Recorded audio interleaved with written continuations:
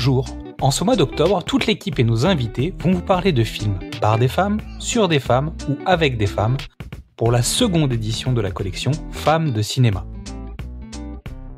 Qu'ils sévissent sur Instagram, TikTok, YouTube ou en podcast, ils n'ont qu'un seul objectif, vous donner envie de voir ou revoir un film.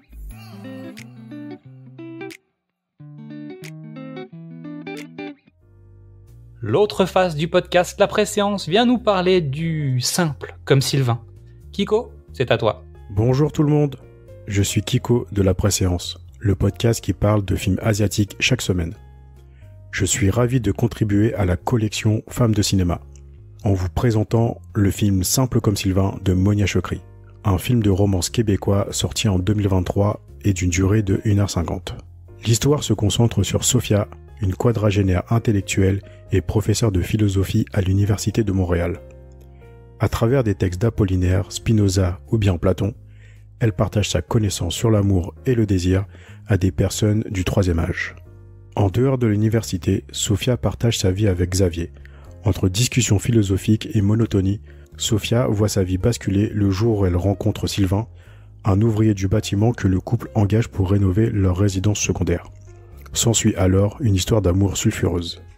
Avec son air de déjà-vu, ce pitch simple cache un récit à la fois drôle et touchant, mais aussi sulfureux sur certains thèmes comme l'adultère ou les différences entre classes sociales. Est-ce qu'à partir de cette distinction sociale peut naître une histoire d'amour fusionnel entre deux êtres que tout oppose? Avant de parler du film, je voulais juste souligner que le genre romantique n'est pas mon genre de prédilection. Mais avec son troisième film, Monia Chokri m'a donné envie d'approfondir le genre en question de m'intéresser de près à ses longs métrages, mais aussi à sa carrière en tant qu'actrice, notamment dans les films de Xavier Dolan. Parlons du film en lui-même. Ce qui me frappe dans un premier temps, c'est le côté décomplexé des différents thèmes. Une fois la période de désir physique consommée par nos deux amants, il est temps de revenir à la réalité et de s'intéresser au monde de chacun. C'est-à-dire le milieu intellectuel de Sophia, que doit découvrir Sylvain, et le monde de la classe moyenne que Sylvain doit faire découvrir à Sophia. Ce qui en fait un film intéressant par rapport aux autres romances, c'est que le film commence là où les autres se terminent. C'est-à-dire de nous raconter les hauts et les bas après la phrase cliché des contes de fées et ils vécurent heureux. Effectivement, la réalisatrice s'intéresse à l'après-désir. Une fois la passion passée, que reste-t-il de cette relation amoureuse? La pression sociale se fait ressentir. Les différences sont traitées avec beaucoup de justesse et d'humour, sans tomber dans les clichés de beaucoup de romances de Noël. Oui, c'est vrai, je n'aime pas vraiment ce genre de film-là même s'il m'en reste quand même quelques-uns en tête. Mais bon, c'est toujours la même recette qui est répétée. Mais dans celui-ci, les rencontres entre amis et famille sont de purs moments jubilatoires. On ne s'ennuie jamais pendant les dialogues. Entre rigolades, bastons d'ego et moments de malaise, on est toujours agréablement surpris par la façon de filmer. En tant que spectateur, nous avons le sentiment d'assister aux événements. Nous ne sommes jamais laissés de côté, on peut y ressentir les malaises que l'on connaît si bien lors des premières rencontres. Dans ces moments du film, le tempo des dialogues est réglé au millimètre près. Les acteurs secondaires sont tous excellents, on arrive à avoir de l'empathie pour des personnages rencontrés sur une scène.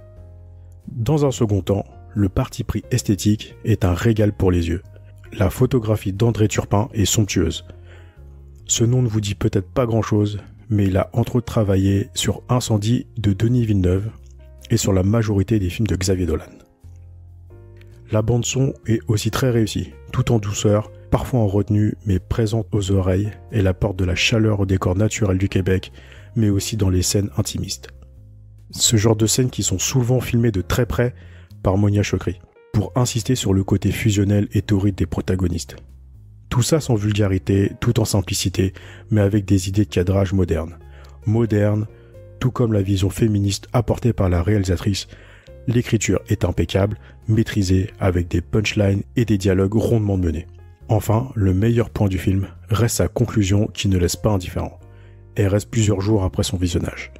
Plan somptueux, musique sublime et le duo Sophia Sylvain charismatique nous déchire le cœur.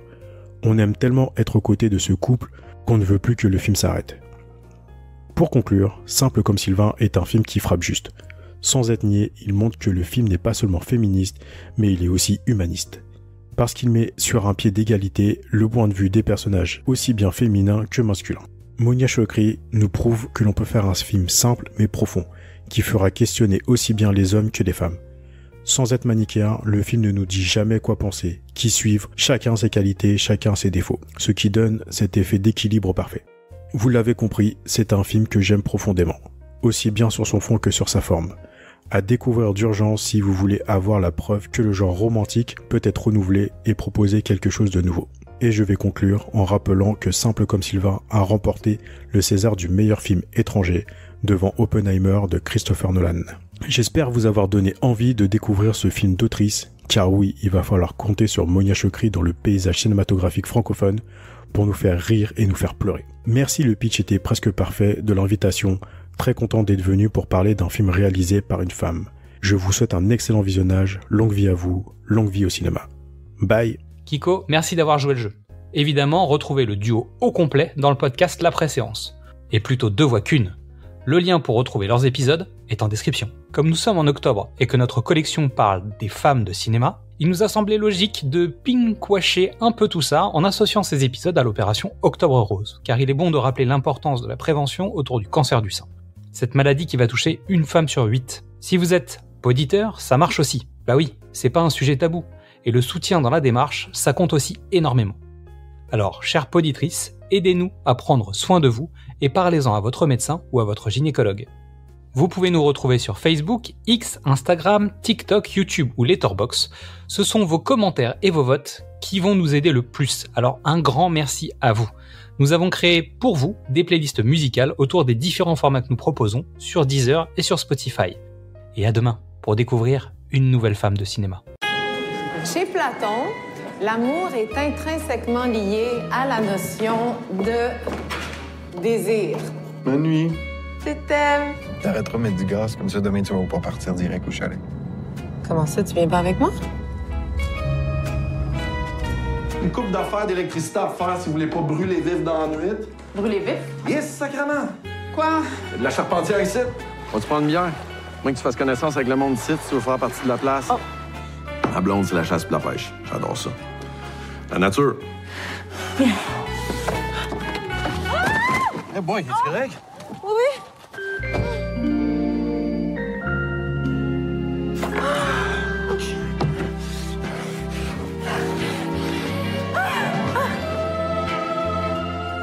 c'est le, euh, c'est les travaux. Fais les C'est lui, travaux les chez vous. Ben, euh, détruis pas tout notre beau projet, là. Ouais. Euh, votre conjoint, tu là? Faudrait signer le contrat pour les travaux. Il est parti pour la journée, il revient très tard. C'est dommage. Oh là! Un instant, un instant, un instant! Ah, oh, excuse-moi. Voyons. T'as rencontré quelqu'un? Voyons. T'as presque rien dit à table, tu m'appelles plus, puis t'es de bonne humeur. Salut. J'arrête pas de penser à toi. Fait que, euh, va falloir qu'on se revoie, je crée bien. Salut. J'arrête pas de penser à toi. Je pense que j'ai rencontré quelqu'un. Un fleuve à découvrir encore. Nous aimer comme si l'amour c'était la mort. C'est qui, on dirait, dirait vous? Chasseur d'eau.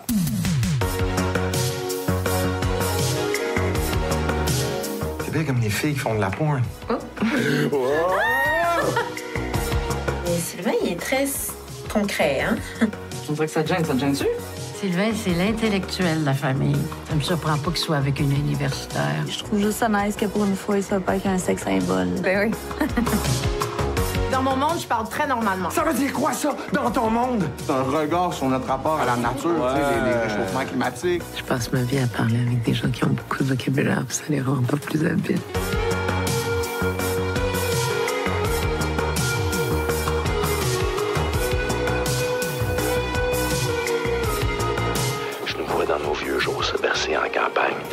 À la campagne.